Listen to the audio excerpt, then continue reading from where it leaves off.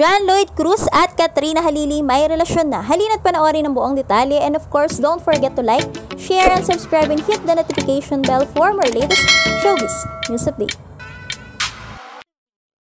Kalat na kalat ang mga katanungan ngayon ng mga netizens kung ano nga ba ang meron sa pagitan nila John Lloyd Cruz at Katrina Halili.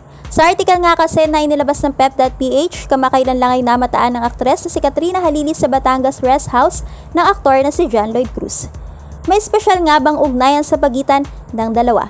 Marami na rin nga kasing mga okasyon na namataan na magkasama ang dalawa. Bukod nga kasi sa parehong may koneksyon itong sina Katrina at John Lloyd sa GMA Network ay wala na nakikitang rason pa ang mga netizens kung bakit laging magkasama ang dalawa. Isa pa ay wala naman silang pagsasamahang proyekto under GMA management so bakit nga kaya laging magkasama ang dalawa base sa mga larawan nila. Noong June 26 din ay naging agaw pansin ng ibahagi mismo ni Katrina ang kanilang litrato nila ni John Lloyd Cruz na magkasama at isa pang larawan na kasama ng aktres ang anak ni John Lloyd na si Elias.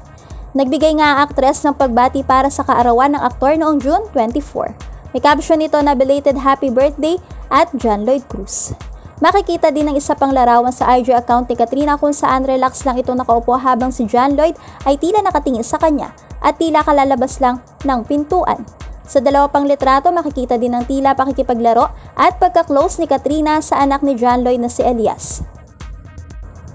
Ang isa ay nasa puno sila at ang isa pa ay nakasilip si Katrina kay Elias na nasa ilalim ng lamesang bato. Makikita na tila komportable din ang dalawa sa isa't isa.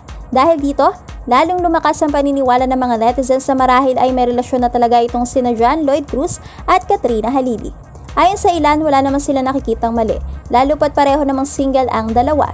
Si John Lloyd ay hiwalay na sa dati nitong karelasyon na si Ellen Adarna na ngayon ay engaged na sa fiancé nitong si Derek Ramsey. Samantala si Katrina naman ay pitong taon ng single simula nang mahiwalay sa ama ng kanyang anak. Ito ay ang singer na si Chris Lawrence. Kung titignan naman daw ang dalawa ay masasabing may chemistry din sila at bagay din naman kung magsasama sila.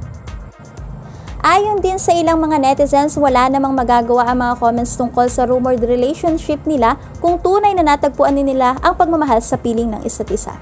Sa mga larawang makikita magkasama at komportable sila sa piling ng isa't isa, tunay nga kayang may relasyon na sina Katrina Halili at John Lloyd Cruz.